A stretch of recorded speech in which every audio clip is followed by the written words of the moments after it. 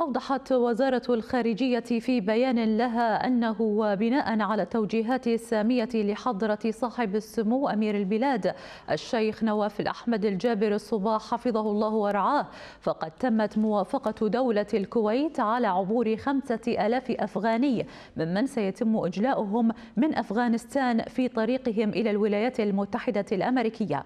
وأضافت الوزارة بأن هذه الموافقة السامية تأتي تقديرا للعلاقات العلاقات الاستراتيجية بين دولة الكويت والولايات المتحدة الأمريكية وتعزيزا للتعاون القائم بينهم واستمرارا لدور دولة الكويت الإنساني الداعي إلى أهمية تأمين المرور الآمن للدبلوماسيين والرعايا الأجانب وتيسير عمليات الأجلاء من أفغانستان.